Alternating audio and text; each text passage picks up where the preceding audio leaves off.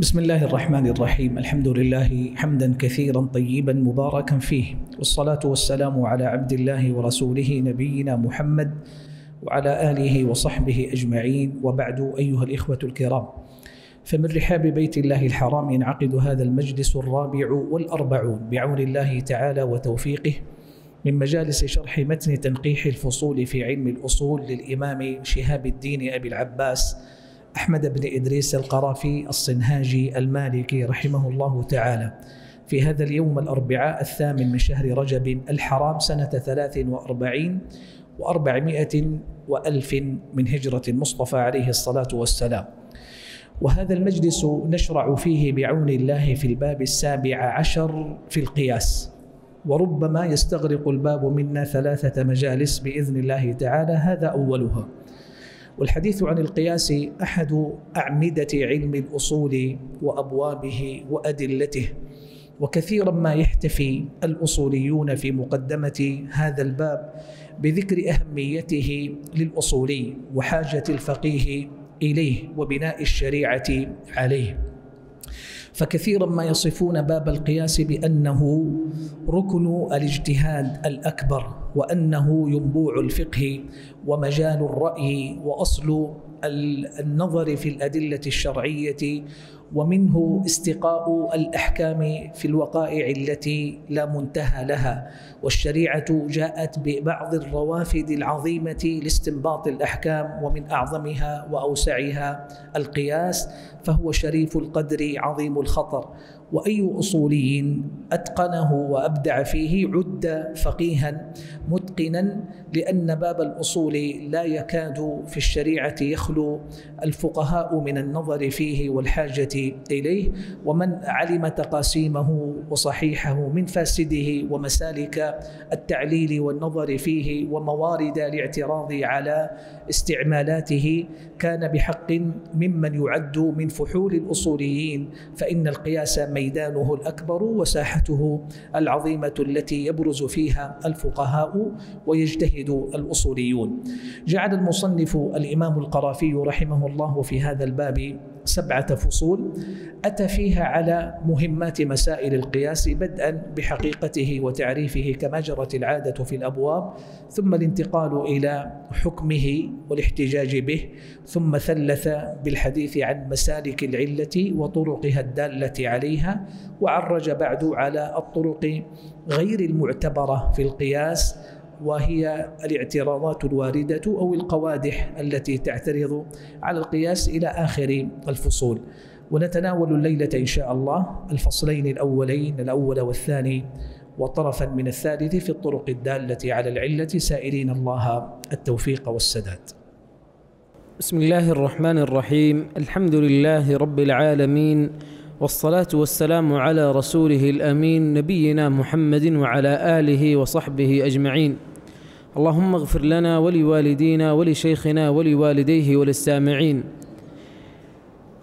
الباب السابع عشر في القياس وفيه سبعة فصول الفصل الأول في حقيقته قال المصنف رحمه الله وهو إثبات مثل حكم وهو مثل وهو إثبات مثل حكم وهو إثبات مثل حكم معلوم لمعلوم آخر. حكم معلوم. وهو إثبات مثل حكم معلوم لمعلوم آخر لأجل اشتباههما في علة الحكم عند المثبت. القياس. ولم يتعرض المصنف رحمه الله لتعريفه اللغوي. ويذكرون نقلا عن معاجم اللغة أن مادة القياس في الفعل قاس والمصدر قوس تعود إلى معنى التقدير. قاس الشيء بالشيء إذا قدره به ومن يذكر معنى المساواة لغة في معاني القياس فليس من أصل المعنى بل من لازمه.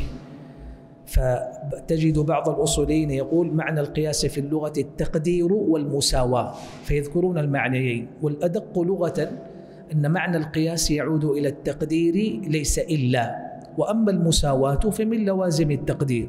فمن قدر بين شيئين قياسا يساوي بينهما فهو من لوازمه لا من حقيقته ومعناه الأصلي. ومما يؤثر ويروى منسوبا لأمير المؤمنين علي رضي الله تعالى عنه يقاس المرء بالمرء إذا ما المرء ماشاه كحذاء كحذو النعل بالنعل إذا ما النعل حاذاه وللشيء على الشيء مقاييس وأشباه. فالقياس تقدير الشيء فتقول قد قست كذا بكذا قست الماء بالعصا أو بالخشبة وقست الجرح بالميل يعني إذا قدرت ما يتعلق بطوله أو عمقه ومسافته ونحو ذلك. شرع المصنف رحمه الله تعالى في تعريف القياس اصطلاحا مباشرة فأورد هذا التعريف الذي سمعت. وبين يدي تعريف القياس اصطلاحا يحسن الإشارة إلى أن إمام الحرمين في البرهان ذكر امتناع إيراد حد حقيقي للقياس. فقال يمتنع القياس بالحد الحقيقي. قال الأبياري في تعليقه عليه لأن الحد يتركب من جنس وفصل والقياس لا يتحقق فيه ذلك. وإنما المقصود فيه العبارات المجردة الجامعة المانعة الموضحة للمقصود. يعني أنت لما تعرف شيئا ما تورد جنسا في التعريف ثم فصولا تابعة له تكون جامعة مانعة يراد بها قيود يحترز بها من دخول ما لا يراد دخوله وأيضا يحتوى فيه ما لا يراد خروجه من التعريف. قالوا هذا لا ينطبق على القياس لأنه ذو حقائق وليس حقيقة واحدة فله فروع وأصناف وأجناس متعددة فيتعسر إيراده بحد حقيقي. هذه طريقته إمام الحرمين والجمهور على خلاف ذلك ولهذا يريدون تعريفات عدة للقياس يتداولونها فيما بينهم ويذكرونها نقدا وتعديلا وتبديلا وزيادة ونقصا. ومهما تعددت تعريفات القياس فإن أيسرها عند المتعلم المبتدئ ما يقال له فيه إلحاق فرع بأصل في حكم لعلة جامعة بينهما. وهذا لا تنطبق عليه معايير الحد عند المناطق إنما هو لتقريب المعنى الذي يراد إيصاله للمتعلم. فهذه حقيقته أن تلحق فرعا بأصل في حكم مشترك من أجل علة جامعة بينهما. فإذا ثبت الحكم في أصل وتحققت العلة فيه نصا أو استنباطا ثم وجدت العلة أو المعنى الذي من أجله وجد الحكم في الأصل. وجدت مثله في الفرع. أمكن تعدية الحكم من الأصل إلى الفرع. هذه التعدية أو ذاك الإلحاق هو المسمى بالقياس. هذا المعنى اليسير يجدونه منتقدا من حيث الصناعة المنطقية للحدود. لأنك عندما تورد أركان القياس في التعريف فتقول الأصل والفرع والعلة والحكم فإنك تعرف الشيء بما يتوقف تصوره عليه فأنت لا تعرف الفرع ولا الأصل ولا العلة ولا الحكم إلا إذا شرحت القياس فكيف تعرف القياس به؟ فهذا مما يستلزم الدور المحذور في صناعة الحدود وصياغة التعريفات. التعريف الذي أورده المصنف رحمه الله تعالى الذي عليه عدد من الأصوليين.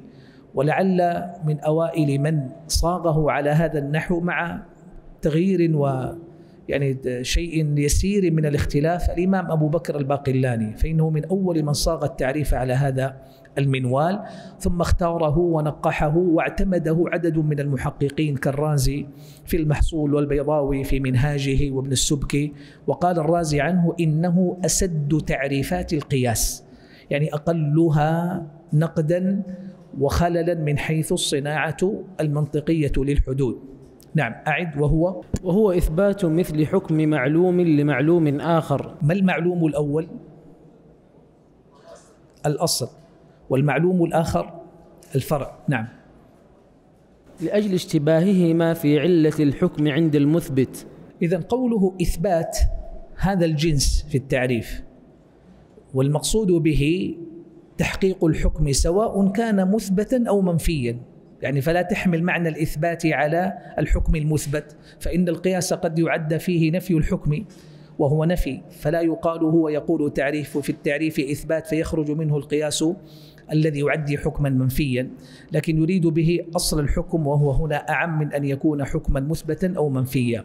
قال إثبات مثل حكم معلوم لمعلوم آخر. وقصد في التعريف أن يقول إثبات مثل الحكم ولم يقل إثبات حكم كذا لأن الحكم الموجود في الأصل ليس هو عينه الذي أثبت مثله في الفرع.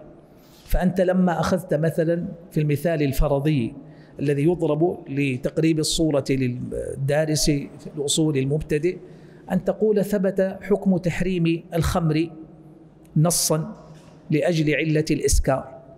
وتحققت العلة ذاتها في النبيذ فثبت حكم الإسكار بالتعدية إليه. فالأصل هو الخمر والفرع هو النبيذ والحكم الموجود في الأصل وهو التحريم. نقلناه إلى الفرع وهو النبيذ لأجل العلة المشتركة الموجودة وهي الإسكار. فأنت عندما أثبتت حكم التحريم في النبيذ ليس هو الحكم الثابت في الخمر بل مثله. فإنك لو جردت الأصل من حكمه وأعطيته للفرع لبقي الأصل بلا حكم. وهذه قد تقول عنها إن دقة في في في في التعامل مع اللفظ لكن هذا مقتضى الصناعة المنطقية للحدود. فقالوا إثبات مثل حكم لأن الحكم الثابت في الفرع ليس هو الثابت في الأصل بل مثله. وبعض من لا يقبل هذا التحرير كابن الهمام الحنفي يقرر بلى أن حكم الفرع هو عين حكم الأصل لكن الحكم في الأصل نص عليه وأفاد القياس ثبوته في غيره فإلا في الحكم هو الحكم تحريم أو إباحة أو وجوب ونحو ذلك. قال إثبات مثل حكم معلوم لمعلوم آخر. نعم اقرأ. فالإثبات؟ فالإثبات المراد به المشترك بين العلم والظن والاعتقاد. يعني القدر المشترك بين العلم والظن والاعتقاد. تعدية الحكم من الأصل إلى الفرع لإثبات الحكم فيه هو المقصود هنا فيه بالإثبات. ثم هذا الإثبات للحكم أو تعديته كما نسميه تيسيرا في المعنى قد يكون عند القائس مقطوعا به مجزوما وقد يكون مظنونا فهو يقول إن هذا الإثبات المراد به القدر المشترك بين العلم والظن والاعتقاد الجازم. سواء تعلقت هذه الثلاثة بثبوت الحكم أو بنفيه فليس المقصود بالإثبات الحكم المثبت. طيب ما هو القدر المشترك بين هذه الثلاثة؟ العلم والظن والاعتقاد. القدر المشترك هو حكم الذهن بأمر على أمر.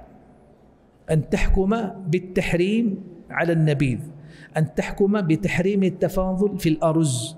أن تحكم بوجوب كذا في كذا. الحكم الذهني بأمر على أمر هو القدر المشترك. قال لأن إثبات الحكم في الفرع أعم من كونه علما أو ظنا أو اعتقادا جازما. كل ذلك يدخل في المراد بتعريف القياس. نعم. صلى الله عليكم ونعني بالمعلوم المشترك بين المظنون والمعلوم. المعلوم الأول الأصل والمعلوم الثاني الفرع. قال ونعني بالمعلوم المشترك بين المظنون والمعلوم. يعني المقصود بالمعلوم ليس المقطوع بتحقق الحكم فيه. حتى تقول إن القياس الظني لا يدخل. قال بل هو ما هو أعم. القدر المشترك بين المظنون والمعلوم وهو وهو ما تحصل عند المجتهد وجود الحكم فيه سواء كان بمرتبة الظن أو بمرتبة القطع والعلم. المعلوم الأول كما مر بك هو الأصل والثاني هو الفرع. واحترزوا عن إيراد لفظتي الأصل والفرع لما تقدم بك بأنهم لا يريدون إيراد الأصل والفرع اللذين لا يعقلان إلا بمعرفة القياس فتعريف القياس بهما دور. فاحترزوا فقالوا معلوم إثبات مثل حكم معلوم لمعلوم آخر. نعم. وقولنا عند المثبت ليدخل فيه القياس الفاسد. إذا قوله في التعريف لأجل اشتباههما في علة الحكم اشتباه ماذا بماذا؟ المعلوم بالمعلوم الآخر لأجل اشتباههما هذا هو سبب إثبات الحكم في الفرع المشابه له في الأصل وهو المعنى المشترك وهو مستند هذه التعدية وهو ركن العلة في القياس لأجل اشتباههما في علة الحكم. هذا القيد احتراز من إثبات الحكم بالنص أو بعموم اللفظ.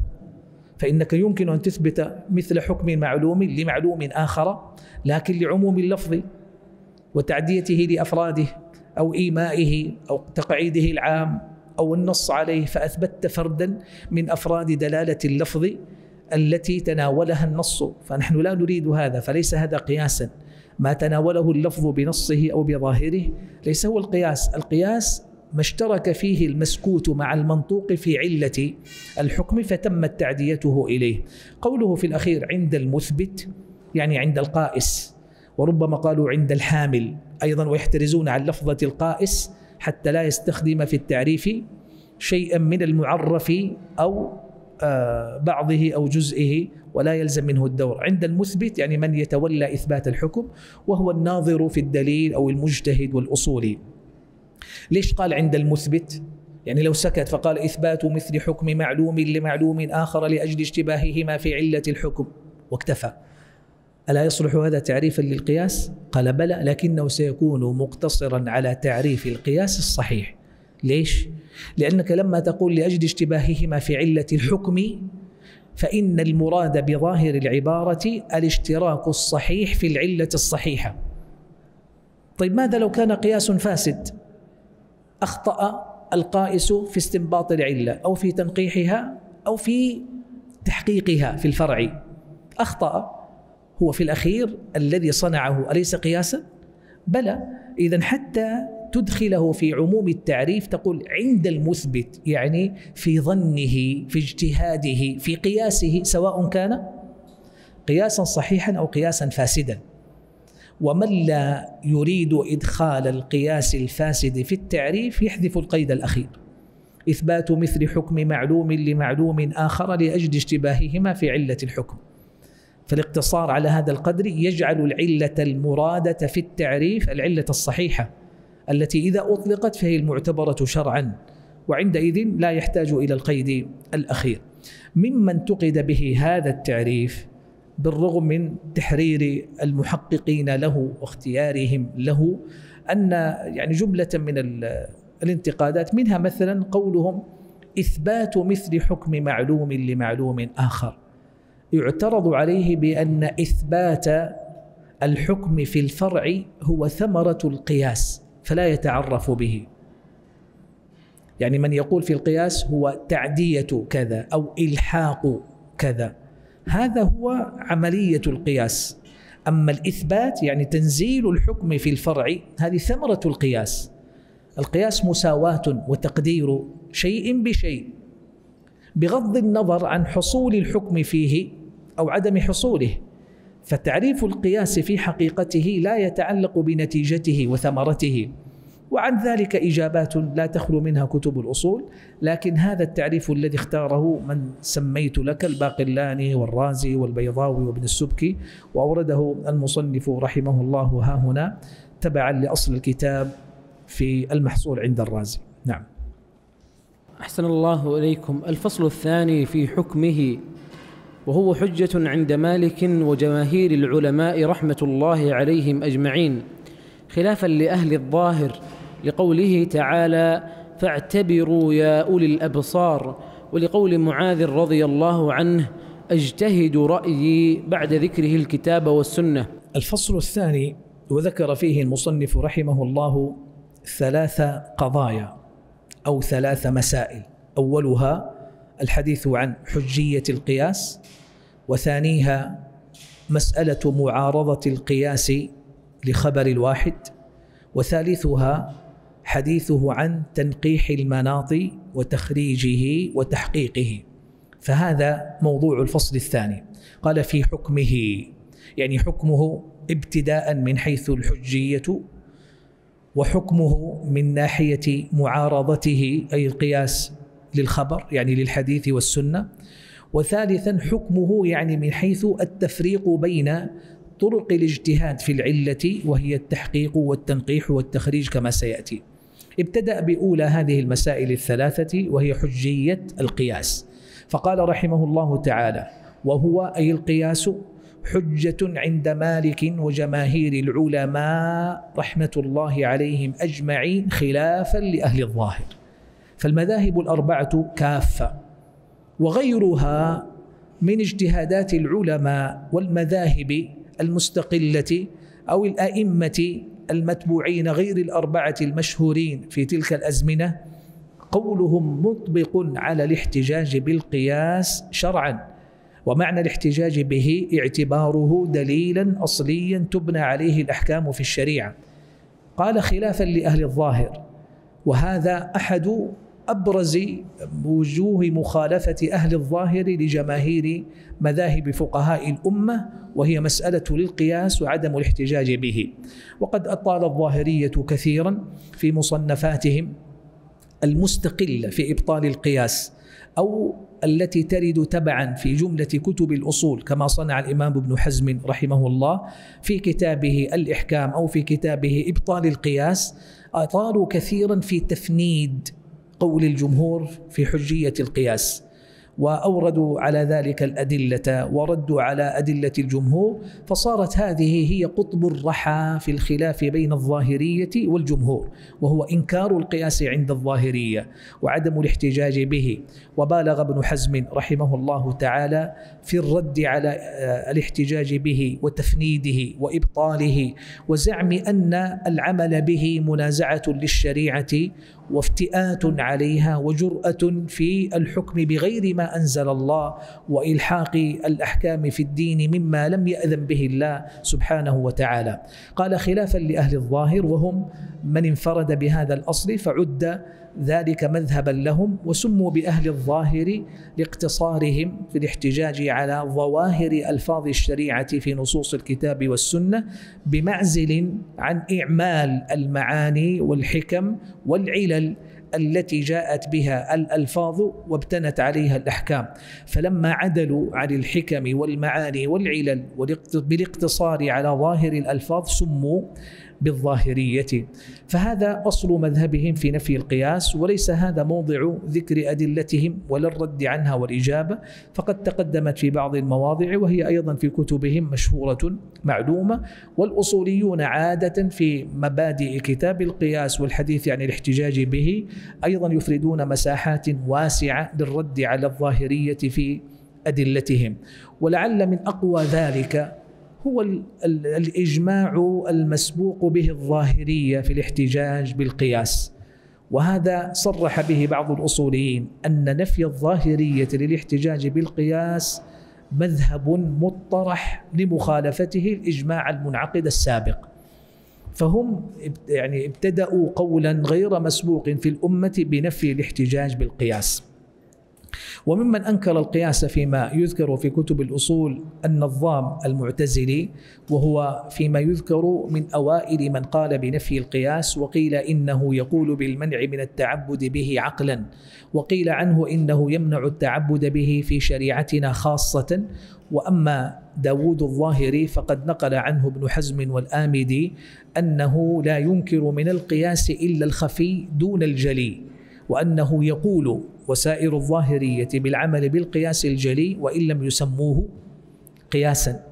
فهو في الأخير آه، محل لا يمكن المنازعة فيه. أن يكون مثل قوله تعالى فلا تقل لهما أف. أن يكون مشتملا على النهي والتحريم عما هو فوق التأفف في حق الوالدين. فهذا لا لا يخالف فيه إلا مكابر. وحتى الظاهرية يوافقون في هذا ولكنهم لا يسمونه قياسا ولهم فيها مسالك أخرى. احتج الجمهور بأدلة. اقتصر المصنف رحمه الله تعالى منها على دليلين. آية وحديث. قال لقوله تعالى فاعتبروا يا أولي الأبصار وجه الدلالة أن الأمر بالاعتبار معناه تمثيل الشيء بالشيء وإجراء حكمه عليه. فاعتبروا. الاعتبار ما هو؟ تمثيل الشيء بالشيء وإجراء حكمه عليه. مأخوذ من العبور وهو المجاوزة. ولهذا يقال عبر من كذا إلى كذا أي تجاوز. وسمي المعبر معبرا لكونه مكانا للعبور من ضفة إلى أخرى أو من جهة إلى أخرى. ومنه سميت العبرة أي الدمعة لأنها تنتقل من العين إلى الخد. فقالوا كل معاني الاعتبار ومشتقاته تحمل معنى الانتقال والمجاوزة. فالاعتبار هو تمثيل الشيء بالشيء وإجراء حكمه عليه. ففيه تعدية ومجاوزة بالشيء من موضعه إلى موضع آخر. الآية أيضا عليها نقاش كثير في كتب الأصول في إثبات وجه دلالتها على حجية القياس. قال رحمه الله ولقول معاذ رضي الله عنه أجتهد رأيي. بعد ذكره الكتاب والسنة واختصر رحمه الله تعالى حديث معاذ رضي الله عنه وهو حديث مشهور لما بعثه إلى اليمن. وقد أخرجه الآئمة أحمد وأبو داود والترمذي بسند فيه آه، ضعف من حديث الحارث بن عمرو عن رجال من أصحاب معاذ بن جبل عن معاذ رضي الله عنه أن النبي صلى الله عليه وسلم لما بعثه إلى اليمن سأله بما تحكم؟ قال بكتاب الله. قال فإن لم تجد؟ قال فبسنة رسول الله صلى الله عليه وسلم. قال فإن لم تجد؟ قال أجتهد رأيه قالوا فاجتهاد الرأي بعد ذكره للاحتجاج بالكتاب والسنة دليل وهو وجه الدلالة على أنه ينظر برأيه والمقصود بالرأي هنا هو إلحاق ما لا يعلم حكمه بما علم حكمه في الكتاب والسنة وهو حقيقة القياس وليس المقصود بالاجتهاد بالرأي الحكم بالهوى فهذا لا يقول به مسلم فضلا عن عالم فضلا عن إمام العلماء معاذ بن جبل رضي الله عنه الذي يقدم يوم القيامة يتقدم ركب العلماء برتوة كما ذكر النبي صلى الله عليه وآله وسلم في مناقبه. الحديث لا يصح وقد ضعفه الأئمة الكبار كالبخاري في التاريخ الكبير وقال الترمذي عقب تخريجه هذا حديث لا نعرفه إلا من هذا الوجه وليس إسناده عندي بمتصل. وورده ابن الجوزي في العلل المتناهية وقال هذا حديث لا يصح وإن كان الفقهاء كلهم يذكرونه في كتبهم ويعتمدون عليه قال ولعمري إن كان معناه صحيحا إنما ثبوته لا يعرف لأن الحارث بن عمرو مجهول وأصحاب معاذ من أهل حمص لا يعرفون وما هذا طريقه فلا وجه لثبوته وقرر ابن القيم رحمه الله وغيره من أهل العلم أن الحديث مع القول بضعفه عند من يقول به ويرجح ذلك إلا أن معناه ثابت وصحيح وترتيب الأدلة مما أطبق الفقهاء عليه في تقرير ما تضمنه حديث معاذ رضي الله عنه. من الأدلة شرعا على حجية القياس وهي كثيرة وروده ووقوعه في كتاب الله وفي سنة رسول الله صلى الله عليه وسلم على وجوه متعددة وأنحاء متفاوتة احتجاجا به تارة وإثباتا له واستعمالا لدليله وردا على المخالفين بهذا الدليل في عدة مواضع في كتاب الله. وأشهر قضية ورد فيها هذا الدليل أي القياس في القرآن هو مسألة إثبات البعث بعد الموت ردا على منكريه من العرب المشركين وإثبات قضية البعث وأدلته متعددة في مثل قوله تعالى وهو الذي يبدأ الخلق ثم يعيده وهو أهون عليه. هو قوله سبحانه وتعالى ولقد علمتم النشأة الأولى فلولا تذكرون وقوله سبحانه وتعالى قل من قال قال من يحيي العظام وهي رميم قل يحييها الذي أنشأها أول مرة وهو بكل خلق عليم وقوله سبحانه وتعالى ويحيي الأرض بعد موتها وكذلك تخرجون وكذلك الخروج وكذلك النشور. كذلك أي مثله ما تقدم فيما هو معلوم عندهم في إنبات الأرض وإحيائها بعد موتها. فتأتي قضية البعث بعد الموت مقاسة عليه الله يقول وكذلك تخرجون وكذلك الخروج وكذلك النشور. يعني أن قضية البعث والإحياء بعد الموت هي كإحياء الأرض بعد موتها. والله عز وجل يضرب هذا المثل في كتابه الكريم. وفي السنة كذلك مثل إشارة النبي عليه الصلاة والسلام إلى معنى العلة والنظر في بناء الحكم عليها. لما سئل عن بيع الرطب بالتمر قال أينقص الرطب إذا جف؟ قالوا نعم. قال فلا إذن. فسؤاله عن هذا المعنى إشارة إلى التعليل وليس سؤال جاهل بالجواب ليعلمه من المسؤول. وكذلك قوله عليه الصلاة والسلام لما سئل عمن سألته عن الحج عن أم أبيها أو من سأله عن الحج عن أمه في أكثر من حديث قال أرأيت لو كان على أبيك أو على أمك دين أكنت قاضيه؟ قال نعم. قال فدين الله أحق أن يقضى. ومثل هذا أيضا كثير في نصوص الكتاب والسنة. من الأدلة كذلك تواتر العمل به عن جمع من الصحابة رضي الله عنهم وتكراره وانتشاره من غير اختلاف بينهم مع تفاوت في الزمان. فمواقفهم وفتاويهم واجتهاداتهم المشتملة رضي الله عنهم على استعمال القياس دليل على حجيته. وإن كانت أحادها مفردة لكن مجموعها يدل على القدر الذي استقر به رأيهم وعملهم رضوان الله عليهم جميعا. فإن قيل إنه قد وردت آثار الصحابة رضي الله عنهم بذم الرأي والقياس فيما ساق جملة واسعة منه الأئمة الحفاظ. كالحافظ ابن عبد البر في جامع بيان العلم والخطيب البغدادي في الفقيه والمتفقه وغيرهما ممن ذكر ذلك مسندا إلى عدد كبير من الصحابة رضي الله عنهم وأطال فيه مثل الإمام ابن حزم في أدلة نفي القياس فإن ذلك المقصود منه فيما هو واضح من لفظه وظاهر من سياقه ذم الرأي المذموم المعارض لنصوص الشريعة. أو المعتمد على غير دليل أو المجازف به في مقابلة الدليل الصريح الصحيح. وأمثال ذلك فالاجتهاد بالرأي المذموم ليس هو القياس الشرعي الذي يقول باحتجاج بالاحتجاج به جمهور العلماء.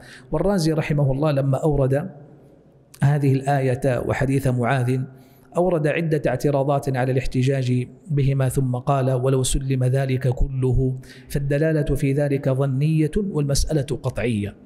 كأنه يرى أنها لا تقوى على النهوض بأدلة الاحتجاج بالقياس شرعا وعارضه غيره فقال بلى إن تلك الأدلة مع مجموع الدلالات التي يؤازر بعضها بعضا ترتقي إلى قطعية الاحتجاج بالقياس وإثباته حجة شرعية يستعملها العلماء وفقهاء الأمة أسوة بما تقرر في الشريعة وانتهجه سلف الأمة من الصحب الأوائل رضي الله عنهم في تقرير الأحكام وبنائها ومن آخر الأدلة عقلا أن حوادث الشريعة وأحكامها غير متناهية وأدلة الشرع محصورة منصوصة فالاقتصار عليها دون إعمال هذا الباب العظيم من أدلة الشريعة قصور في تطبيق الشريعة لا فيما استوفت به أحكام المكلفين وليس من طريق يمكن استيفاء أحكام المكلفين في الحياة المتجددة ذات الحوادث غير المتناهية إلا من خلال النظر في تلك الأدلة التي وسعت بها الشريعة أحكام المكلفين ومن أوسعها مشربا دليل القياس والله أعلم. أحسن الله إليكم. قال رحمه الله وهو مقدم على خبر الواحد عند مالك رحمه الله لأن الخبر إنما ورد لتحصيل الحكم والقياس متضمن للحكم فيقدم على الخبر. هذه ثاني المسائل في الفصل. تقديم خبر الواحد على القياس. والمقصود بالخبر هنا ليس المتواتر فإن المتواتر إذا ثبت حجة مقدمة يطرح لأجلها القياس. لكن الكلام هنا على حديث خبر الواحد إذا كان معارضا للقياس. والقياس المقصود هنا أحد أمرين. إما القياس الأصولي الاصطلاحي الذي تقدم تعريفه قبل قليل بأن يكون حديث يعارض قياسا في مسألة ما. فالقياس في المسألة يقتضي حكما وخبر الواحد في تلك المسألة يقتضي حكما يخالفه. والصورة الأخرى المقصودة بالمسألة معارضة خبر الواحد لقياس الأصول لا للقياس الاصطلاحي. وقياس الأصول معناه مقتضى ما تقرر في القواعد الشرعية العامة وجملة الأدلة التي قررت أصلا فقياس الأصول أقوى من القياس الاصطلاحي في مسألة ما بعينها. نقول هذا حتى تحرر ما ينسبه بعض أهل العلم لبعض الفقهاء في المسألة فإن بعض ما ينسب إلى الأئمة الكبار كمالك ليس هو في تقديم القياس الاصطلاحي في المسألة على خبر الواحد بل هو قياس الأصول المذكور هنا. قال المصنف رحمه الله وهو أي القياس مقدم على خبر الواحد عند مالك رحمه الله. فنسب هذا المذهب اولا للإمام مالك ثم بين وجه تقديم القياس على خبر الواحد بقوله لأن الخبر إنما ورد لتحصيل الحكم فهو طريق إليه كيف؟ بالنظر في دلالته ومقتضاه وما اشتمل عليه وبالنظر أيضا فيما يوافقه أو يخالفه من الأدلة الآخر فهو طريق إلى الحكم. قال أما القياس فهو متضمن للحكم يعني محصل له ليس مجرد طريق بل القياس يفضي بك إلى الحكم مباشرة لكن الخبر طريق. قد يفضي بك إلى الحكم قطعا أو ظنا أو معارضا بغيره فأنت تنظر في تخليص ذلك كله حتى تبلغ الحكم. فكأنه يقول إن القياس قد أوصل إلى الحكم والخبر لا يزال طريقا إليه قال فيقدم على الخبر. هذا وجه ما أراد المصنف به رحمه الله آه، بيان وجه تقديم القياس على خبر الواحد.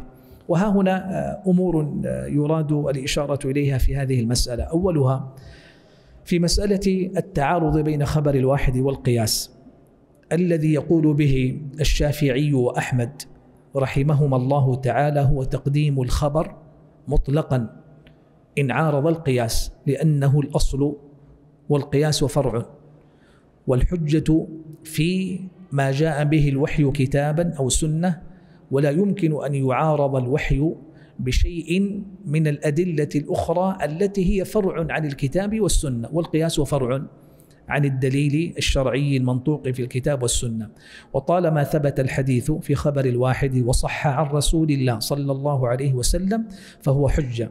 ومثال ذلك مثلا حديث المصرات. في نهيه عليه الصلاة والسلام عن تصرية الإبل والغنم قال لا تصر الإبل والغنم فمن ابتاعها؟ فهو بخير النظرين بعد أن يحلبها. إن شاء أمسكها وإن سخطها ردها وصاعا من تمر. فرد صاع التمر بعد حلب الشاة أو الناقة هو في مقابل المحلوب اللبن المحلوب. قال الفقهاء فهذا صاع التمر ليس على القياس يعني لا القياس الاصطلاحي ولا قياس الأصول لأن القياس يقتضي قياس الأصول يقتضي أن تعويض المثليات بالمثل والمقومات بالقيمة. فنحن هنا لا رددناه بالمثل ولا بالقيمة. فصاع التمر ليس قيمة لما شرب أو حلب من الحليب وهو قد حدده مقدارا موحدا مع اختلاف المحلوب قليلا كان أو كثيرا. فدل ذلك على أنه ليس عوضا فليس قيمة. ثم هو ليس مثلا هذا حليب وهذا تمر. فقالوا قياس الشريعة أو قياس الأصول في الشريعة يقتضي معاوضة المثلي بمثله والمقوم بقيمته وهنا لم تجري القيمة ولا المثل فقالوا هذا تفرد به النص. فيقولون هذا مثال لخبر واحد عارض القياس أو خالفه ومثل حديث ولوغ الكلب في الإناء. قال إذا ولغ الكلب في إناء أحدكم فليغسله سبعا إحداهن بالتراب أو قال وعفروه الثامنة بالتراب مع اختلاف ألفاظ الحديث. قالوا فالتعفير بالتراب مخالف لقياس الأصول فإن الغسل والتطهير يراد به التنظيف والتراب مادة لا يتحقق بها معنى التطهير والغسل فهو معنى أيضا يخالف قياس الأصول. وهذا وأمثاله يضرب مثالا لهذه المسألة. فمذهب الشافعي وأحمد أن خبر الواحد إن دل على الحكم فهو المقدم ثم قد يسمى هذا معدولا به عن سنن القياس أو يسمى استثناء من أصل الشريعة العام في هذا الباب. أو يقال هذا معنى تعبدي لا تعقل حكمته فيجري على بابه تسليما وطواعية وإن لم تعقل حكمته. وهذا ولا شك هو الأصل الذي تنطلق منه آه، ينطلق منه الفقه الشرعي. وهو المنهج الذي جاءت به الشريعة وربت الأمة عليه التسليم لمقتضى النصوص والطواعيه والانقياد. وما آه، يمكن أن يعقل من المعاني والحكم والعلل فهي فرع تبنى عليها. فإن أدركت فبها ونعمت وإلا فيبقى المبدأ الأصلي العام سمعنا وأطعنا. وهذا كثير في نصوص الكتاب والسنة وما كان لمؤمن ولا مؤمنة إذا قضى الله ورسوله أمرا أن يكون لهم الخيرة من أمرهم. إنما كان قول المؤمنين إذا دعوا إلى الله ورسوله ليحكم بينهم أن يقولوا سمعنا وأطعنا. وليس هذا مقام تقرير هذا الأصل العظيم. فهذا المذهب الذي يقول به الشافعي وأحمد رحمهما الله تعالى. وهي رواية المدنيين عن مالك رحمه الله في مذهبه. تقديم الخبر عند معارضة القياس. والقول الثاني في المسألة قول أبي حنيفة رحمه الله ورواية مالك عند العراقيين تقديم القياس. وهم في هذا يتفاوتون في بعض التفاصيل. فقيل تقديم القياس مطلقة وقيل بل المراد قياس الأصول ليس القياس الاصطلاحي الجزئية في المسألة. وقيل إن كان راويه غير فقيه راوي الخبر فيقدم القياس وإلا فيقدم الخبر إن كان راويه فقيه على ما تقدم معكم في بعض الشروط غير المعتبرة على الراجح في رواة خبر الأحد ومنها اشتراط الفقه في الراوي. ذكر القاضي عياض في التنبيهات وابن رشد في المقدمات قولين في مذهب مالك في معارضة الخبر للقياس. وهذه واحدة من المسائل التي اضطرب فيها أصحاب مالك عن الإمام مالك رحمه الله في عزو المذهب إليه وتحريره عليه حتى إن بعضهم ينقل القول بتقديم الخبر وبعضهم ينقل القول بتقديم القياس مطلقا. وأتى بعض من جمع القولين كما سمعت عند القاضي عياض وابن رشد فقرروا أن الأصحاب أصحاب الإمام مالك يقررون قولين في المسألة وهي في الحقيقة يعني كما يذكر حلول في الرواية عن الإمام مالك روايتان. الأولى رواية المدنيين وهي تقديم الخبر. قال القاضي عياض وهي مشهور مذهبه. والثانية وهي رواية العراقيين وهي تقديم القياس. وأنت ترى أن نسبة أصحاب الإمام مالك إلى هذين المصرين من أمصار الإسلام تدل على المذهب السائد في كل منهما. فرواية المدنيين تقديم الخبر وهي مدرسة آه، أهل الحجاز مدرسة الحديث. ورواية العراقيين تقديم القياس وهي مدرسة أهل الرأي أيضا. وإن كانوا أتباع مذهب الإمام مالك لكن المذهب أو الرأي عمد إلى تقديم القياس. قال القاضي عياض رحمه الله في ما ما هو محصل من كلامه في إكمال المعلم. قال عن الإمام مالك وأخذ له القولان من المدونة. فأخذ له الخبر يعني تقديم الخبر من الأخذ بحديث المصراه. وأخذ له تقديم القياس من مسألة ولوغ الكلب. في مسألة ولوغ الكلب لم يعمل بالحديث في مسألة المصرات عمل بها. فمنهم من نظر إلى أحد الشقين فقال مذهبه تقديم الخبر ومنهم من قال بتقديم القياس. قال آه، حلول المالكي معقبا على القاضي عياض قال في كلامه نظر. فحديث المصرات من باب التخصيص لقاعدة الربا بالخبر وليس من باب تقديم الخبر على القياس هو تخصيص. قال تخصيص لقاعدة الربا بالخبر.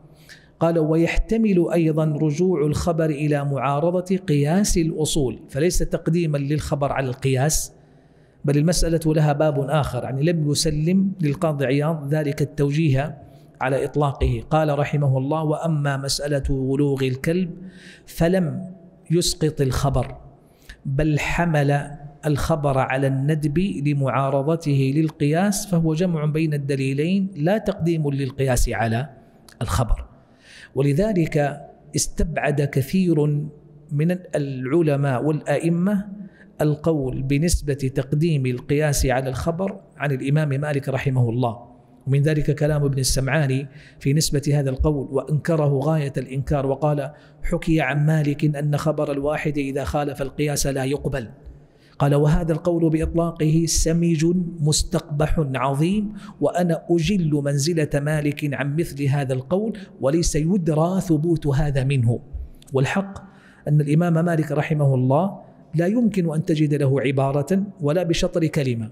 يكون فيها صريح القول بأن أمرا ما عنده يقدم على صحيح السنة الثابت عنده عن رسول الله صلى الله عليه وسلم. كيف هو إمام دار الهجرة؟ كيف وهو من كان يضرب به المثل في إجلال السنة والقيام بها وهو الذي كانت تعظم بين يديه رواية السنة وإقراء حديث رسول الله صلى الله عليه وسلم في المجلس الذي يلقى فيه الحديث وتروى فيه السنة. فكأن على جلساء مجلسه الطير لا يتصفح فيه الورق إلا تصفحا رقيقا ولا يسمع في مجلسه بري القلم. إجلالا للسنة ومهابة وتعظيما. فمن كان هذا شأنه تجزم بأنه لا يمكن أن يصدر عن مثله في مذهب فقهي يقوم على النظر والاجتهاد الجرأة على مخالفة الحديث ولو بتأويل يقوم على تقرير أن قياس الأصول أو رواية غير الفقيه تضعف رواية الخبر المروي عن رسول الله صلى الله عليه وآله وسلم. ويقول العلامة الإمام الشنقيطي رحمه الله تعالى التحقيق خلاف ما ذهب إليه كان يتكلم على نظم المراقي وقد ذكر ترجيح القياس كما صنع القرافي هنا. قال والتحقيق خلاف ما ذهب إليه المؤلف والرواية الصحيحة عن مالك رواية المدنيين أن خبر الواحد مقدم على القياس ومسائل مذهبه تدل على ذلك كمسألة المصرات ومسألة النضح. النضح يعني نضح بول الغلام إذا كان على على الثوب. فقال يرش يغسل من بول الجارية ويرش على بول الغلام. فالرش والنضح على خلاف القياس. فإن كان نجاسة فليغسل وإن كان طاهرا فلا حاجة إلى الرش ولا إلى النضح. قال كمسألة المصرات ومسألة النضح ومسألة غسل اليدين لمن أحدث أثناء الوضوء. قال وما زعمه بعضهم من أنه قدم القياس على النص. في مسألة ولوغ الكلب غير صحيح لأنه لم يترك فيها الخبر للقياس وإنما حمل الأمر على الندب للجمع بين الأدلة. وينقل عن القاضي عبد الوهاب في الملخص قوله خبر الواحد إذا خالف الأصول قبله الشافعي والحنفية والمتقدمون من المالكية. وقال أبو الفرج والأبهري وغيرهما قياس الأصول أولى إذا تعذر الجمع. فالنقل مختلف عن المالكية عن القاضي عبد الوهاب وعن القاضي آه، أبي بكر وعن الأبهري وعن كثير من المتقدم وابن القصار أيضا فهم متفاوتون في النقل مختلفون فيه. وقد سمعت خلاصة ما نقله غير واحد كالقاضي عياض وحلول والعلامة الشنقيطي والقاضي عبد الوهاب وغيرهم رحم الله الجميع. نعم. أحسن الله إليكم. قال رحمه الله وهو حجة في الدن وهو حجة في الدنيويات اتفاقا. يعني أما الخلاف المتقدم فهو القياس الشرعي يعني في الأحكام الشرعية في الدين. أما القياس في الأمور الدنيوية فهذا محل خلاف محل وفاق بين العلماء بين العقلاء. لا خلاف فيه ولهذا نقل الاتفاق الإمام الرازي وتبعه القرافي هنا. بمعنى أن القياس العادي في الأمور الطبيعية والدنيوية كقياس الأطباء في مسألة العلاج والمداواة واستعمال الأدوية فيقيسون الشيء بالشيء وإذا صلح استعمال دواء لمرض فأشبه مرض مرضا قاسوا عليه علته ووجه التداوي به. وكذلك القياس في الأمور الحسية في البناء والطب والهندسة والزراعة. فما زالت الناس تستعمل القياس وتبني عليه الأحكام فهو في الدنيويات حجة باتفاق. فلماذا وقع الخلاف في الشرع؟ لأن مرد الحكم في الشرع إلى الشارع والقياس اجتهاد من القائس فأحدث هذا تفاوتا في النظر فخالفت الظاهرية بظن أن الاجتهاد في الحكم في الشرعيات اجتراء على الشريعة وتقرير لحكم لم تقرره الشريعة وقد تقدم الإشارة إليه. وهو إن كان بإلغاء الفارق فهو تنقيح المناط عند الغزالي أو باستخراج الجامع من الأصل ثم تحقيقه في الفرع فالأول تخريج المناط والثاني تحقيقه. وهو أي القياس وهذا المقصود به آه، طرق أو أو أنواع أو أضرب اجتهاد العلماء في مسألة القياس أو القياس أو ركن القياس الأكبر وهو العلة. ورأيت أن المصنف رحمه الله لم يتطرق إلى ما جرت العادة عليه عند الأصوليين بذكر أركان القياس الاربعه وإفاضة الحديث عنها الأصل والفرع والعلة والحكم والخلاف الذي يذكر في الأصل هل هو الدليل أو حكمه كذلك الفرع والعلة. لكن شرع آه، في الاختصار هنا وتكلم على أضرب الاجتهاد في العلة عند العلماء يعني العلة التي هي ركن الاجتهاد الأكبر في القياس. مراتب التعامل معها ثلاثة. الأول إثباتها في الأصل. والثاني تحريرها من الشوائب وتنقيحها عما لا صلة لها به. والثالث إثباتها في الفرع وبناء الحكم عليها. فهي ثلاث مراتب أو ثلاث خطوات يتم تعامل المجتهد والفقيه والأصولي فيها مع العلة التي هي ركن القياس. ينظر إلى حديث الربا مثلا. قوله عليه الصلاة والسلام الذهب بالذهب والفضة بالفضة والبر بالبر والشعير بالشعير والتمر بالتمر والملح بالملح.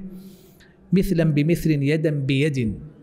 هذا هو الحديث المنصوص. فما الذي يجتهد فيه الناظر؟ ينظر إلى هذا الحديث في معناه. لماذا علق الحكم بهذه الستة؟ علق ما مناط هذا الحكم. المناط هو موضع تعليق الحكم ولهذا قالوا تنقيح المناط تحقيق المناط تخريج المناط. المناط هي العلة. سمي المناط مناطا لأنه اسم مكان الإناطة. معنى الإناطة التعليق والإلصاق ولهذا سميت الشجرة ذات أنواط لأنهم كانوا يعلقون عليها الحبال والوتد وغيرها. فهي ذات أنواط يعني ذات تعليق. قال الإناطة هي الاسم المكان ولذلك يعني في في قول القائل بلاد بها نيطت علي تمائمي وأول أرض مس مس جلدي ترابها فهي بلاد نيطت يعني علقت علي التمائم في تلك البلاد فيذكر انتسابه إليها. فالإناطة والمناط المناط هو المكان الذي يعلق به الحكم هو العلة. المعنى الحكمة التي علق عليها الحكم. فينظر الناظر في النص الذي هو الأصل محل الحكم. ثم يقول الحكم الموجود في هذا المذكور في الحديث كالبر والتمر والشعير هو تحريم التفاضل فيه أو تحريم النسيئة. تحريم بيعه متفاضلا أو بيعه نسيئة.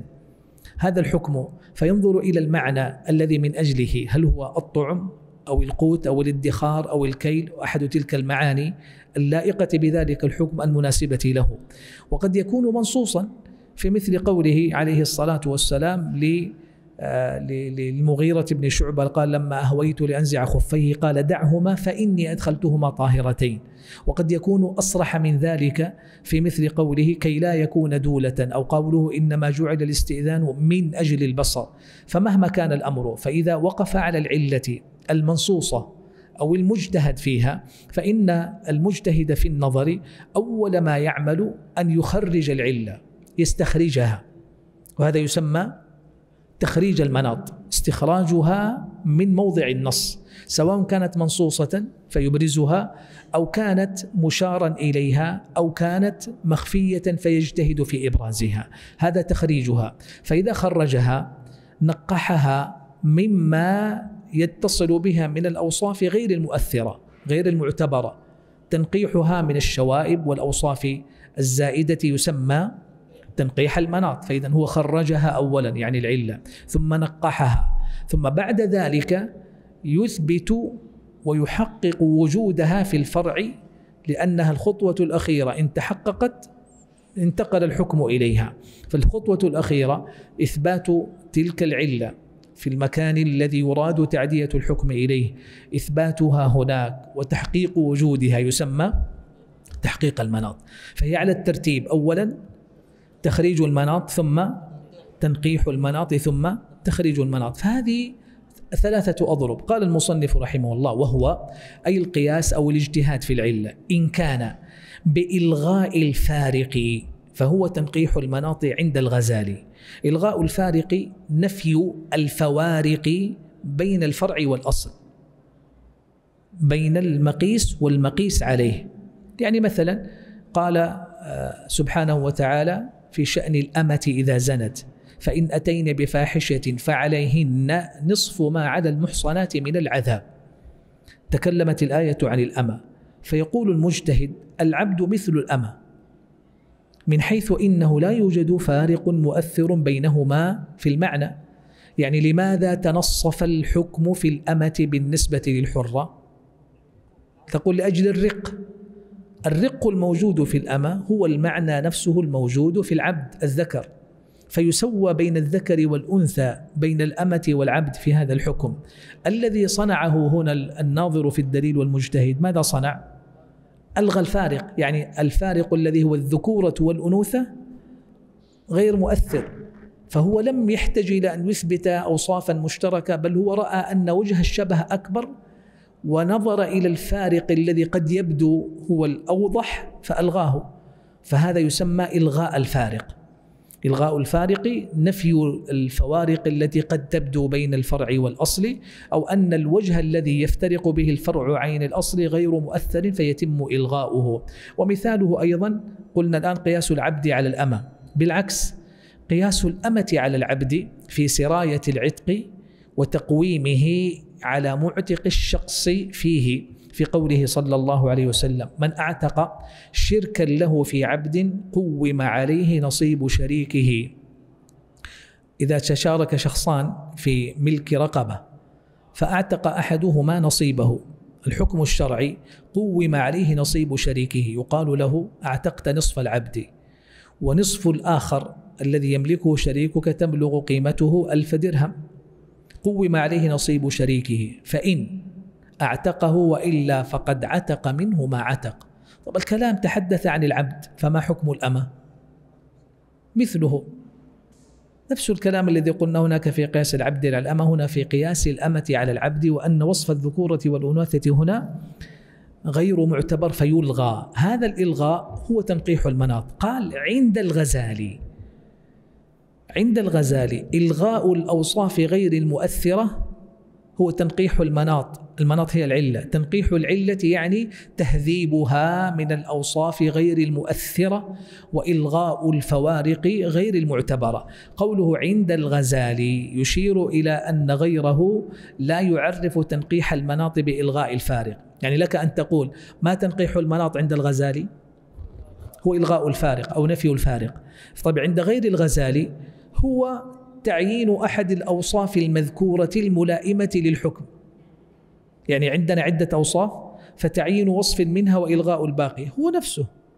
فيعود الأمران والتعريفان والرأيان إلى عدم وجود فارق معنوي عند الغزالي وعند غيره لأن التنقيح معناه تهذيب وتصفية الوصف من الأوصاف غير المؤثرة وإزالة ما لا يصلح عما يصلح. يضربون مثالا بحديث الأعرابي الذي جامع زوجته في رمضان فأتى يستفتي النبي صلى الله عليه وسلم. فسأله فقال جامعت أهلي. فقال أعتق رقبة وذكر الكفارة. فها هنا في الحديث وصف واحد مناسب للحكم وهو كونه جامع أهله في رمضان. فينظر في تنقيح المناط وهنا تتفاوت الأنظار. فاتفقوا على أن بعض الأوصاف هنا في الحديث غير معتبرة فيتم إلغاؤها وهذا تنقيح للمناط مثل كونه أعرابيا فالحضري والأعرابي في هذا سواء. مثل كونه جاء يعني يظهر عليه الفزع والقلق فلو جاء آخر لا يحمل هذا الوصف وكان يعني يبدو عليه عدم الاكتراث بما فعل أيضا لا يختلف الحكم بشأنه. فهذه أوصاف غير مؤثرة هذا من تنقيح المناط. ويكتفى بأنه وقع فيما وقع فيه بإفطاره عمدا في نهار رمضان فوجبت الكفارة. طيب قال الجمهور فالتنقيح ها هنا إلغاء تلك الأوصاف. فجاء بعض الفقهاء فقال من تنقيح المناط ألا تنظر إلى خصوصية كون المفطر جماعا بل أي فطر حصل به الفطر في نهار رمضان وجبت فيه الكفارة فلو أكل عمدا أو شرب عمدا في نهار رمضان وجبت الكفارة. فيقول مخالفه كيف؟ الحديث محدد في الجماع. قال الجماع باعتباره مفطرا لا بكونه جماعا بخصوصه. فذكر ها هنا صورة من صور المفطرات.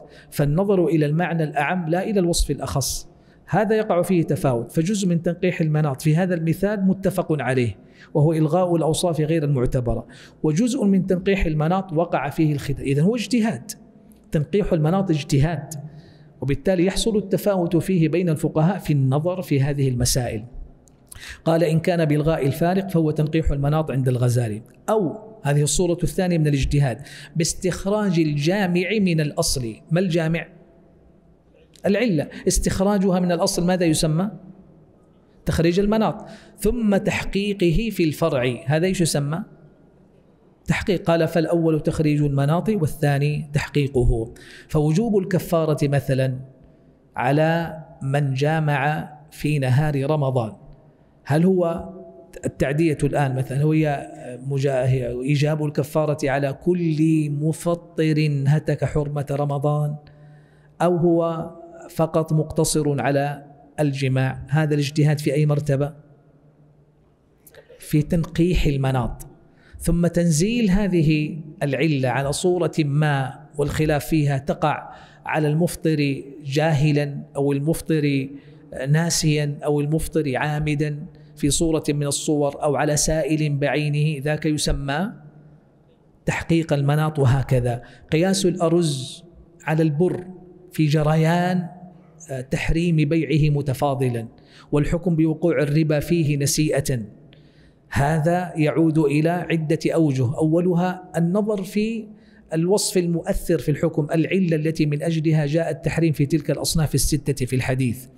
فبعدما نتفق على كونه قوتا أو مدخرا أو طعما أو مكيلا اذا اتفقنا على وصف فالخلاف الذي بين الحنفية والشافعية والمالكية والحنابلة في تحرير الوصف المؤثر في الحكم هذا في أي مرتبة؟ هذا في تخريج المناط.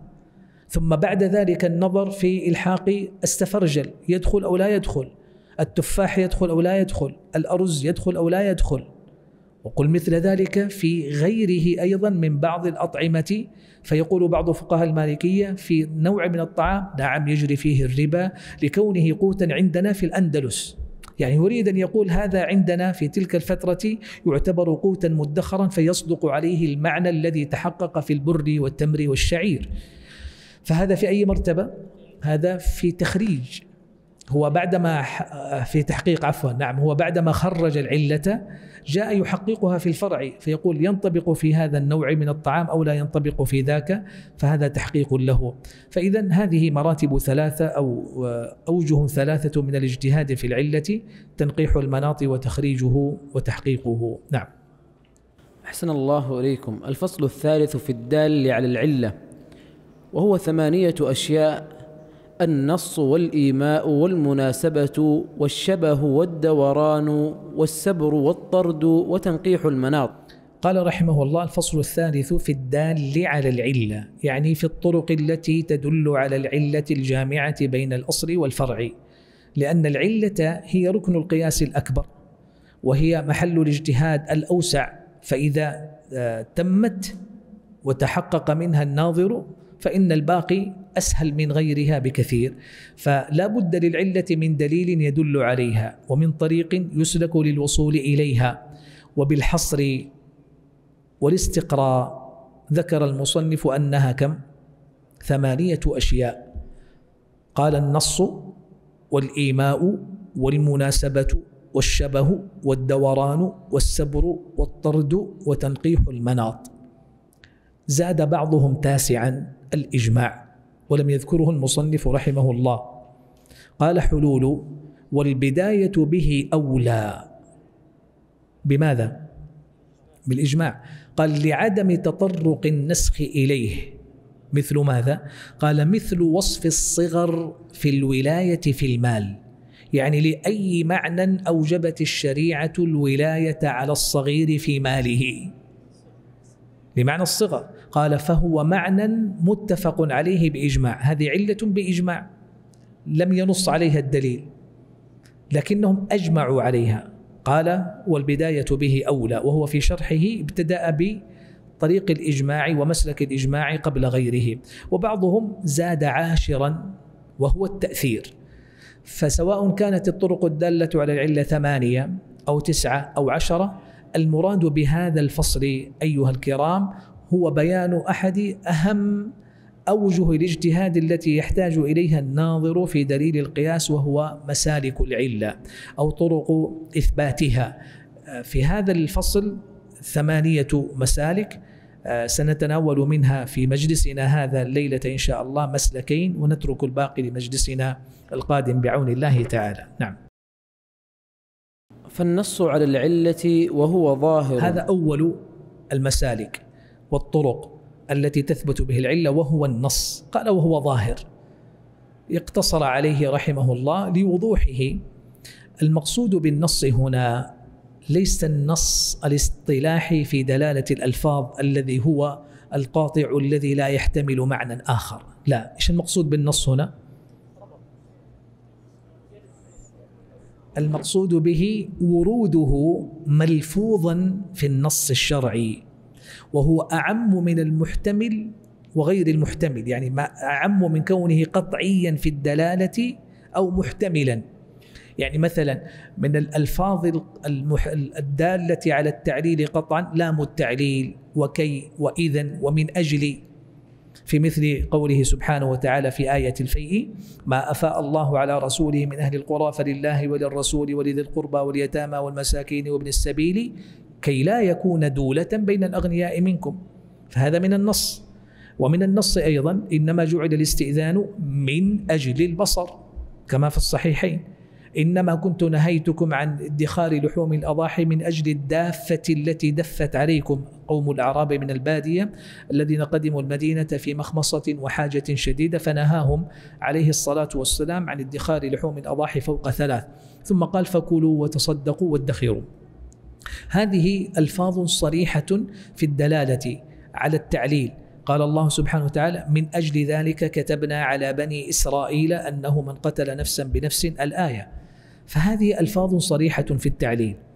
وهناك ألفاظ في التعليل أقل منها وضوحا وصراحه بإفادة معنى التعليل وهي ملفوظة في النص جاءت به وهذا الذي يسميه بعضهم بالتنبيه وبعضهم يسميه ايماء وبعضهم كالمصنف جعل الإيماء مسلكا. إنما هو لفظ غير صريح في معنى التعليل. وإن شئت فقل هو يحتمل مع التعليل أو مع إفادة التعليل معنى آخر. فهذا المسلك الأول قال المصنف وهو النص. طيب النص مقدم على الإجماع أو الإجماع مقدم عليه؟ تقدم قبل قليل يقول حلول والبداية به أولى بالإجماع لعدم تطرق النسخ إليه. الكثير من الأصوليين على تقديم الإجماع على النص لما؟ لأنه نص وزيادة لقوته عليه كيف؟ لا بد للإجماع من مستند فإذا هو يحمل الدليل سواء علم أو كان ضمنيا ولأن الإجماع آه، قد انعقد فلا سبيل إلى مخالفته أو آه، الخروج عنه فهو إذا قطعي لا يتطرق إليه نسخ. أما النص فهو محتمل للتأويل محتمل للدلالات محتمل للنسخ فكان أقل منه. بينما يذهب الغزالي والبيضاوي إلى تقديم النص في مسلك العلة على الإجماع قال لأنه أصله يعني النص أصل للإجماع. نعم. أحسن الله إليكم. والإيماء وهو خمسة.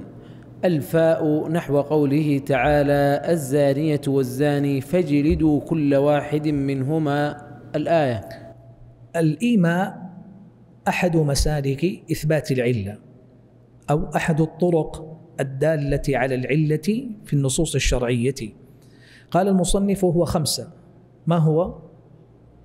خمسة إيش؟ هو مسلك فكيف يكون خمسة؟ الإيماء وهو خمسة. يقصد آه، خمسة آه، أنواع خمس صور. يقول الغزالي رحمه الله وهو يتكلم عن مسلك الإيماء مصرحا بأن وجوه الإيماء كثيرة لا تحصى. قال ولا مطمع في حصر الآحاد فإنها كثيرة. وقلما يخلو كلام الشارع عن تنبيهات يفطن لها ذو البصائر. إلى أن قال وإنما على الأصوليين ضبط القواعد وتأسيس الأجناس. من كلامه في شفاء الغليل. يقول الإيماء صور كثيرة. شوف الأمثلة. الفاء ترتيب الحكم على الوصف. سؤاله عن وصف المحكوم عليه تفريق الشارع بين شيئين ورود النهي على فعل محاولات من الأصوليين لضرب أمثلة للإيماء. فقول المصنف هو خمسة يعني لعله يقصد أبرزها أشهرها لكنها عند التمحيص والتفريع والتشقيق تصل إلى صور كثيرة. فلا يشكلن عليك أن تجد في كتاب أصول أن يذكر بعضهم للإماء صورة أو اثنتين أو بعضهم ينص على عدد كخمسة. والغزالي يقول لا سبيل إلى حصرها. وبعضهم يورد فيها أمثلة يوردها غيرهم في مسلك آخر وهو مثلا التنبيه وبعضهم يجعل التنبيه مسلكا غير الإيماء وبعضهم يقول لا هو كله مسلك نص لكنه صريح وغير صريح. الصريح كذا وغير الصريح التنبيه والفاء والترتيب فلا يشكلن عليك. المقصود شيء واحد وهو أن النص الشرعي جاء متضمنا لذكر العلة ولكن بشكل غير مباشر بشكل غير صريح. فعليك أن تنظر في أحد الطرق التي تفهم منها الإيماء إلى العلة. قال منها مثلا من الخمسة أولها الفاء. إيش يعني الفاء؟ صورتين إما أن يرتب الحكم عقب الوصف بالفاء أو العكس. أن يأتي الحكم اولا ثم يشار إلى المعنى المناسب والوصف بعده بالفاء أيضا. باختصار الفاء تدخل تارة على المعلول وتدخل تارة على العلة. مثال الزانية والزاني فاجلدوا. فين الحكم؟ حكم. جاء بعد الوصف. فين الوصف؟ الزانية والزاني. إذن الجلد ما المعنى ما الوصف المناسب لهذا الحكم في الشريعة وهو الجلد مئة؟ الوقوع في الزنا. فإذا الزنا هو الوصف المعتبر. فمتى تحقق هذا المعنى في غيره تحقق الحكم؟ فهذا مثال. السؤال هل نقيس على الزنا حكما آخر؟ ليس هذا مثالنا الآن. نحن نتكلم على صورة لنص شرعي تفهم فيه إيش يقصدون بقولهم ترتيب الحكم عقب الوصف بالفاء. جاء الوصف ثم رتب الحكم بعده بالفاء. ليش بالفاء؟ لأن مشعرة بالتعقيب والربط. بين السابق واللاحق. الزانية والزاني فاجلدوا والسارق والسارقة فاقطعوا أيديهما. قطع اليد حدا في الشريعة ما وصفه المناسب. ما المعنى الذي جاء من أجل السرقة؟ المذكورة في اسم الفاعل في هذا الوصف المشتق والسارق والسارقة. قال عليه الصلاة والسلام من أحيا أرضا ميتة فهي له. فين الحكم؟ التمليك فهي له. أين المعنى أو الوصف الذي جاء؟ الإحياء. من أحيا أرضا. بعضهم يقول انتبه من أحيا أسلوب شرط. هذا أصرح من قوله الزانية والزاني فاجلدوا. أسلوب الشرط أقوى دلالة. بعضهم يجعل هذه مرتبة مختلفة فيجعل هذا نوعا وهذا نوعا. فالتشقيق والتمثيل يتفرع بك. فافهم أصل الباب ولا عليك بعد بالتمثيل وضرب الأنواع. قال ومن يقتل مؤمنا متعمدا فجزاؤه جهنم. أين الحكم؟ فجزاؤه جهنم خالدا فيها وغضب الله عليه. أين المعنى أو العلة أو الوصف الذي ربط هذا الحكم بناء عليه؟ القتل العمد. ومن يقتل مؤمنا متعمدا. هذه كلها أمثلة. تلاحظ فيها أنه لما جاء بالحكم سبقه وصف ربط بينهما بالفاء. قال الشمس والقمر آيتان من آيات الله. لا ينخسفان لموت أحد ولا لحياته. ثم قال فإذا رأيتم شيئا منها فافزعوا إلى ذكر الله ودعائه واستغفاره. بأي شيء على أي شيء علق الأمر بالصلاة والذكر والدعاء والاستغفار؟ على رؤية الخسوف. لكن تنبؤ الوقوع به وحسابه الفلكي غير كافي. قال فإذا رأيتم فعلقها بالرؤية وإن كان الأسلوب شرطيا فهو أشبه بقوله من أحيا أرضا ميتة فهي له. طيب هذا كله نوع. النوع الآخر عكسه. أن يأتي الحكم أولا ثم يأتي وصف مناسب عقبه بالفاء. قال للمغيرة بن شعبة رضي الله عنه وقد أهوى لينزع خفيه قال دعهما فإني أدخلتهما طاهرتين فمسح عليهما.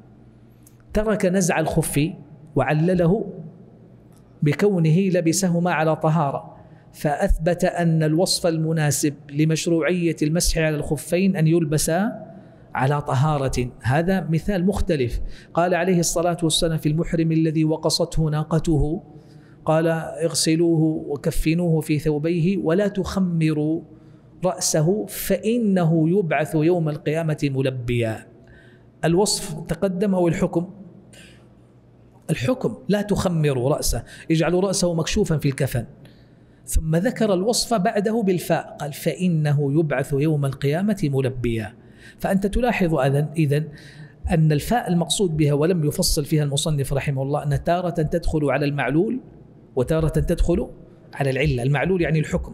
فسواء دخلت الفاء على الحكم فاجلدوا فاقطعوا فافزعوا إلى ذكر الله فجزاؤه جهنم فهي له في الأمثلة المذكورة.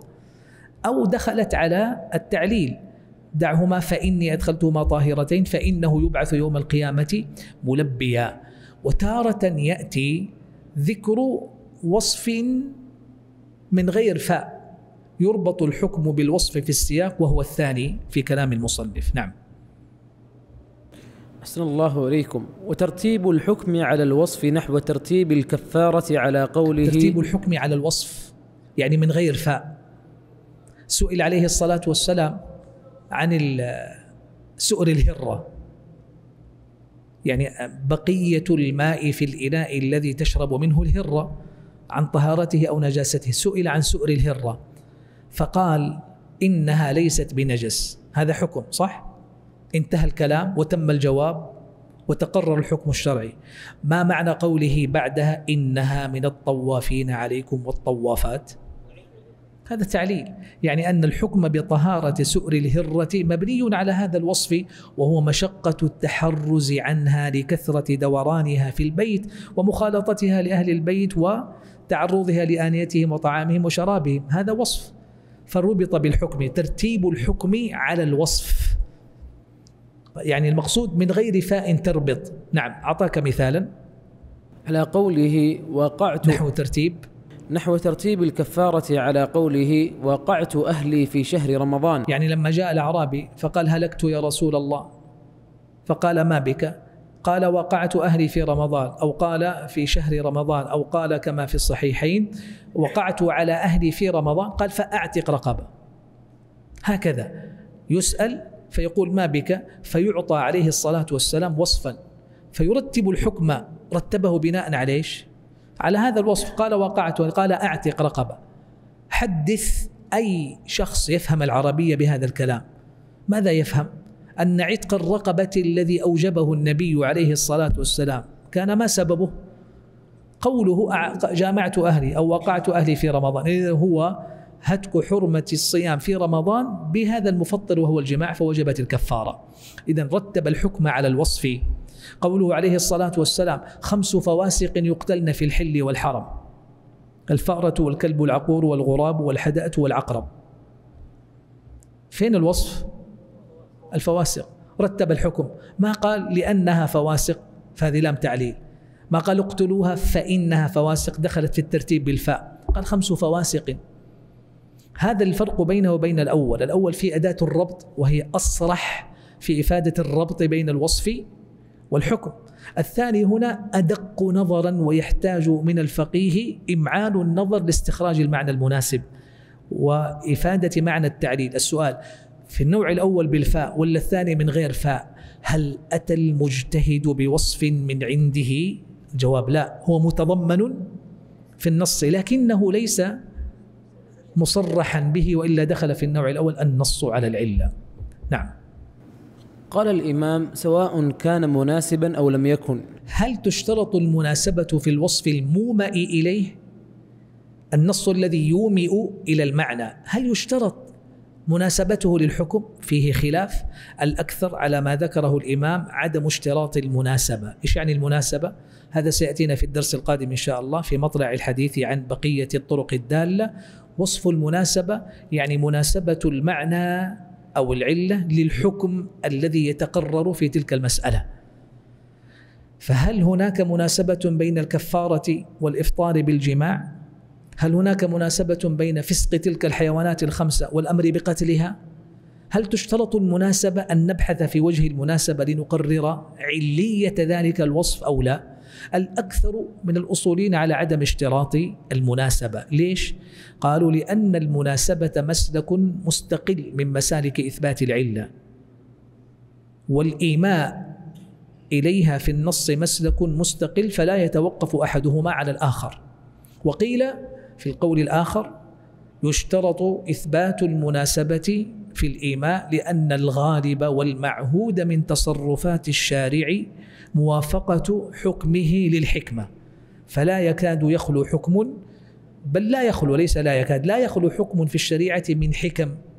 فإدراكها وإثبات المناسبة مطلب. إيش معنى هذا؟ يعني أنه متى لم تدرك الحكمة ولم تثبت المناسبة ها؟ فلن نقول بعلية ذلك الوصف. طيب كيف هذا؟ معارضة للنص؟ لا لا تنسى النص لم يصرح بالعلة. هذا إيماء. فإذا لم تثبت المناسبة سأقف ولا أرى أن هذا إيماء إلى العلة. وسأعترض على من يزعم أنها علة أقول له أنا لا أوافقك لا أرى مناسبة. فهذا الكلام هل يكتفى في الإيماء هذا الإيحاء الذي يربط بين وصف وحكم أو لا بد من المناسبة؟ قال الإمام سواء كان يعني المعنى مناسبا أو لم يكن. نعم. أحسن الله إليكم. وسؤاله صلى الله عليه وسلم عن وصف المحكوم عليه نحو قوله أينقص الرطب إذا جف؟ هذه صورة من صور الإيماء الثالثة. الاستنطاق عن وصف يعلمه المسؤول ثم يرتب عليه الجواب. سئل عليه الصلاة والسلام عن بيع التمر بالرطب. وقد تقدم قوله لهم التمر بالتمر مثلا بمثل يدا بيد. طب التمر والرطب من جنس واحد لكن هذا لا يزال رطبا وهذا تمر جاف. فسئل هل يجوز بيع الرطب بالتمر؟ فسأل السؤال أينقص الرطب إذا جف؟ هل كان السائل عليه الصلاة والسلام يجهل الجواب؟ لا. هل كان المسؤول بهذا السؤال يستفيق على معلومة كانت غائبة عنه؟ الجواب لا.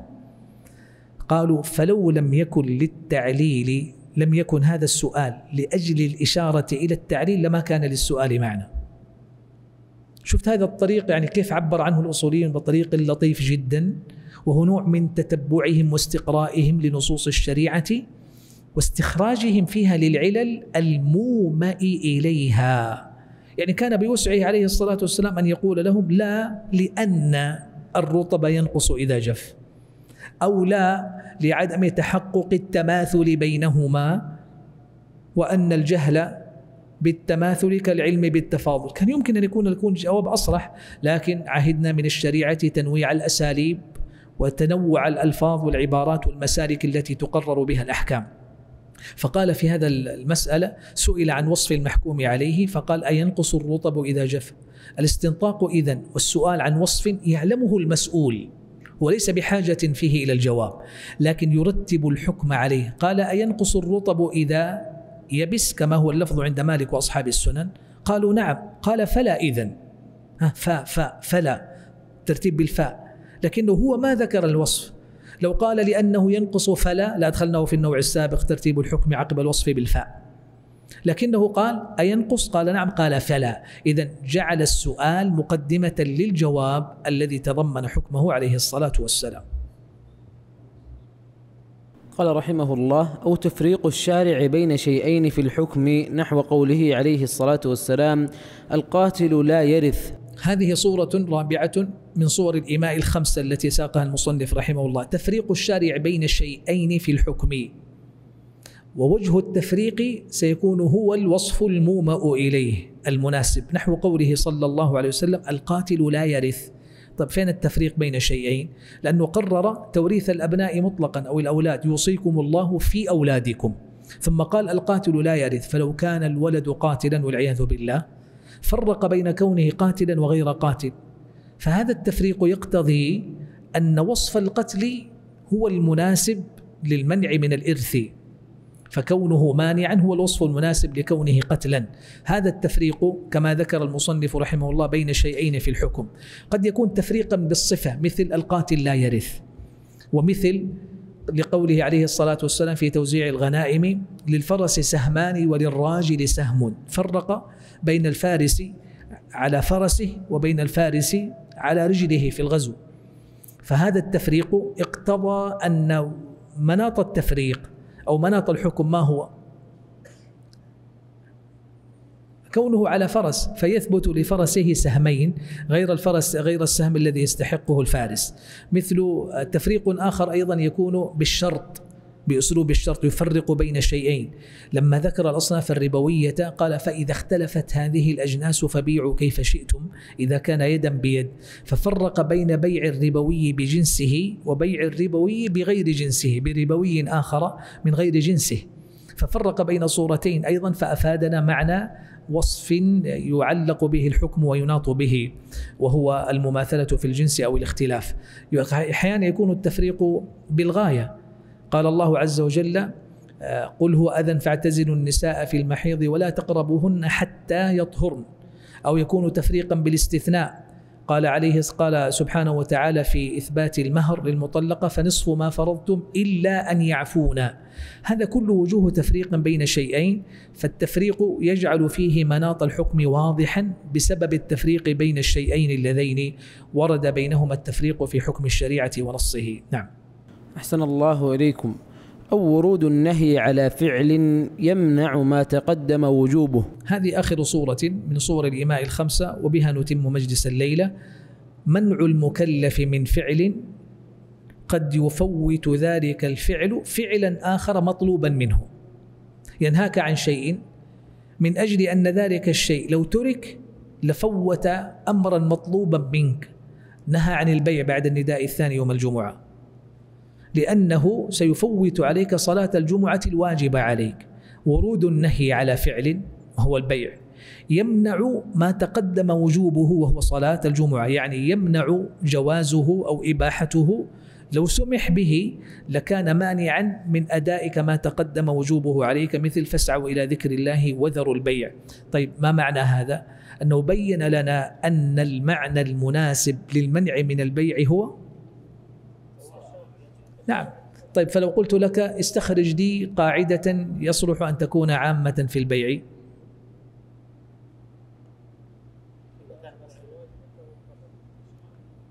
البيع الذي يكون سببا في ترك واجب. خلاص. هكذا استخرجتها أنت من المعنى الذي جاء مع أن الآية قالت إذا نودي للصلاة من يوم الجمعة فاسعوا إلى ذكر الله وذروا البيع. فأنت بالإيماء الذي تضمنه النص وليس التصريح استطعت أن تقول إنه نهى عن فعل كان مباحا لكن بالنظر إلى كونه لو ظل مباحا لمنع من أداء ما وجب فإذا وجه المنع هو الحفاظ على ما تقرر وجوبه لئلا يكون سببا في تركه. نكتفي بهذا ويبقى لنا المسالك الخمسة أو الستة الباقية في هذا الفصل الذي أراده المصنف رحمه الله تعالى لبيان مسالك العلة مع المسالك الباقية الأخرى. نسأل الله لنا ولكم العلم النافع والعمل الصالح والله أعلم. وصلى الله وسلم وبارك على عبده ورسوله نبينا محمد وعلى آله وصحبه أجمعين.